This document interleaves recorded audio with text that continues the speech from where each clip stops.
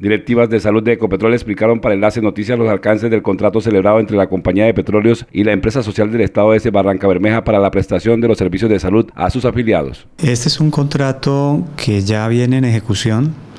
y que con la nueva empresa contratista mantiene los mismos servicios actuales para la sostenibilidad y la garantía de la atención de cada uno de nuestros beneficiarios. Es un contrato de atención para algunos servicios del primer nivel, como son la consulta externa médica general, la consulta de urgencias, los servicios de promoción y prevención, entre otros. Sobre los reclamos del abuso en relación a que la ESE no cuenta con el músculo financiero para atender la demanda de salud de los afiliados de Ecopetrol, las directivas de la empresa expresaron que la ESE cumplió con todos los requisitos exigidos para este fin. Nuestra dependencia, como le mencionaba, de abastecimiento nos garantiza una evaluación a profundidad en ese sentido